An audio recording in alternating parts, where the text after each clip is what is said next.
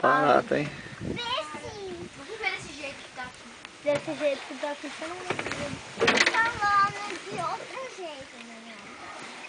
Nossa, demais, né? Nós estamos aqui a 6 metros né, da loca delas. Tá filmando? Tô filmando aqui, gente, ó. Olha um buraco de cobra. Todo mundo aqui. Aqui, ó. Aqui perto né, tem uma Estamos aqui vendo a maravilha das aliranhas. Olha que beleza. O rio Pichain.